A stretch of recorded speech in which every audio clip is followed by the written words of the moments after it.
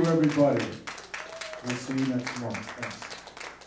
Andrew Clark, Ann Cameron, Evan Hayes, David Brensler, yours truly.